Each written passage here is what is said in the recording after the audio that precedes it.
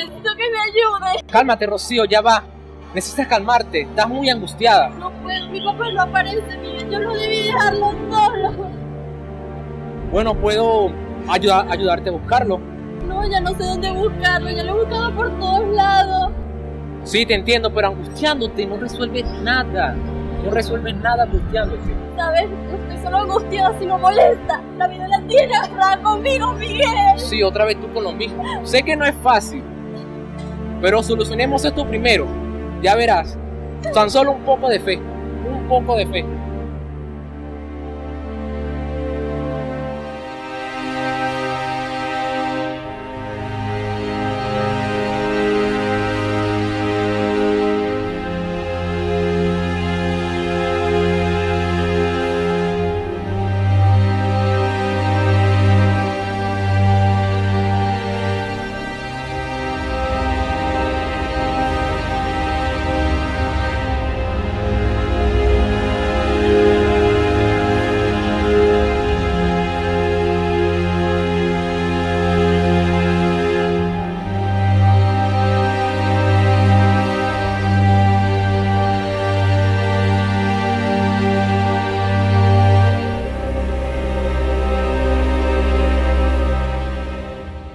Rocío, acabamos de ver a Miguel, ya nos contó. Vamos a seguir buscando, tranquila que todo estará bien. Sí, amiga, quédate tranquila, él va a aparecer. Esto no es la primera vez que pasa. Bueno, miren, yo voy a ir a la cafetería a ver si está por allá. Pero por favor, estén pendientes de lo que les voy a poner. Gracias, chica.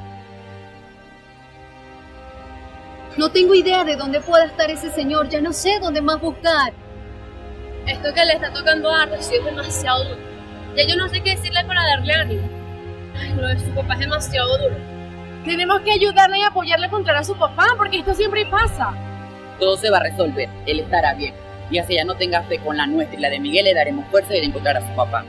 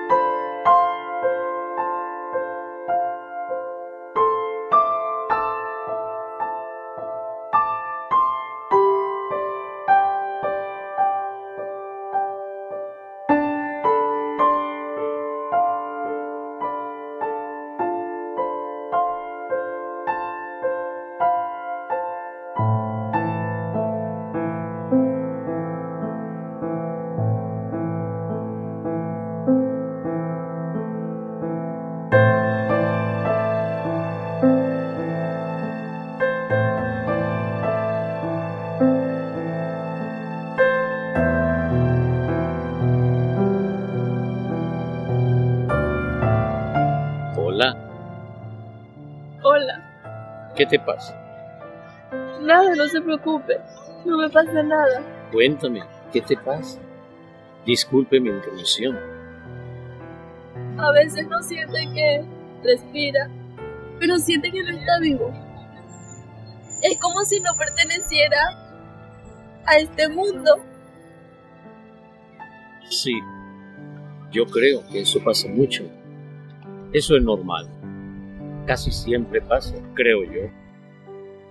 Pero llega un momento en que el cuerpo ya no te da más. Uno se cansa. Estoy cansada de luchar, de tener fe y ver que no pasa nada. No diga eso. Usted es una muchacha muy joven, muy bonita, con una energía muy linda. No piense eso. Disculpe, señor, qué pena. Yo no tenía que haberle dicho nada. Cuéntame, ¿qué te pasa? Lo que pasa es que en mi vida no pasa nada. Y la única persona que estaba conmigo, que no me criticaba, que para que es una persona más bonita y especial del mundo, se fue de mi lado. Quien me ama por como soy y por lo que soy. que se reía conmigo, que no me criticaba, que no me juzga. Se fue de mi lado. Ya no está. No sé dónde está.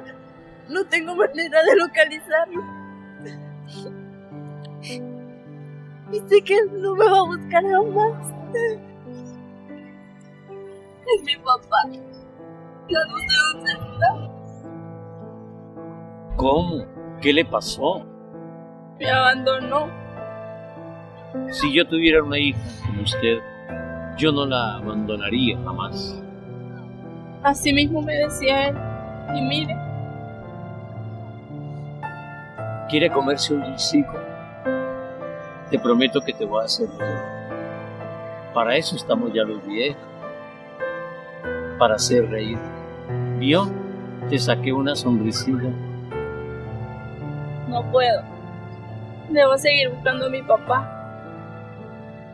¿Quiere que te ayude a buscarlo? Es que ya no sé dónde ir. Ya he buscado por todos lados. Si se puede cansar. No te preocupes por mí. Yo te ayudo a buscarlo.